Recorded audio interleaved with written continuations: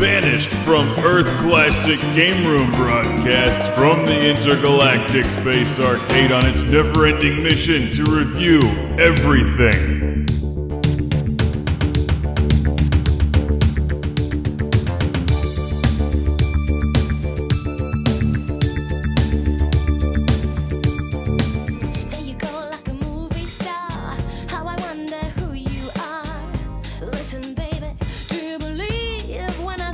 Welcome to Classic Game Room for the review of Dead or Alive Xtreme Be- Beach.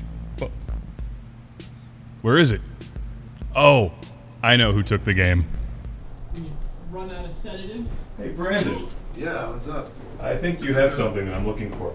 What's uh Oh, look at that! Oh. I knew you had that copy. what? Where did I get this? Amazing how you keep ending up with this, Brandon. Which one's your favorite?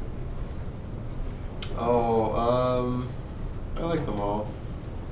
They're all my favorite. Now I have the packaging back so I can read that this is billed as the world's first sports fantasy simulation, featuring the voice of Dennis Rodman, who was in a Van Damme movie, by the way, and it was awful. And by the way, so is this game. if you can even call it that. This sports fantasy simulation is more like a fantasy bullshit simulator. Sure, you can play some volleyball, or you can just sit back and admire the pretty virtual girls with their jumblies hanging out. He just keeps watching this on repeat over and over and over again. Look at that. She's so playful and so fun. much fun. なんだかんだ言って結局来たのねまあね せっかく南の島で遊べるチャンスだし Dead or Alive was once a respectable fighting game, and you know the group of boys working at Team Ninja can put out a perfectly good fighting game. Say what? Why they chose to waste their time on this is beyond me. It's silly and ridiculous. It has some volleyball, and yes, I get it, sex sells. Later, baby. I'm out of here, honey. But there's other places to get it, including real life, if you're not wasting your time on crap like this. I'm a ninja. My girl's an assassin or something. She's secret.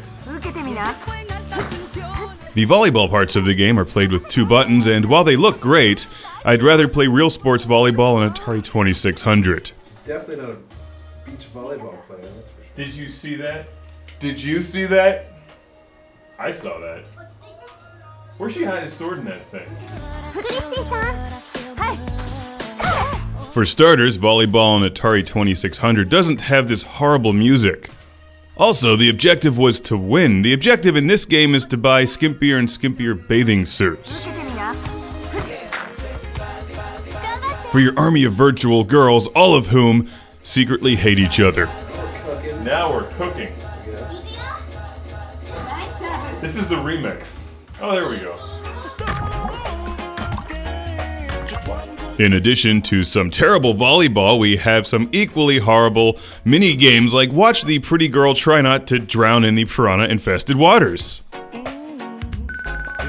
At the end of each game, they just stand there looking vapid and confused. It's so good they should make a sequel. oh my god, this is terrible.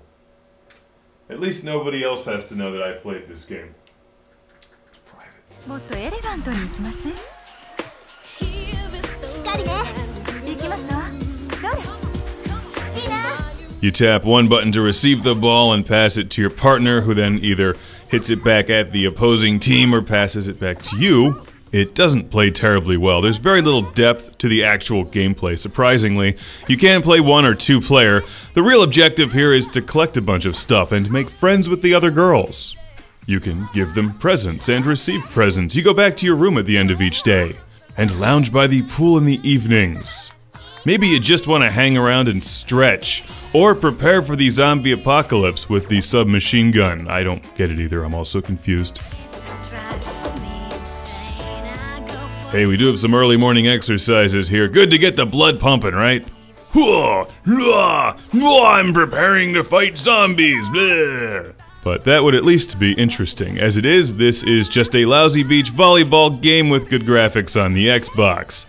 And I have a classic game room shout out and thank you to send to Ben from Buffalo, New York. Once again, thank you, Ben. This is boring. Let's never play this again.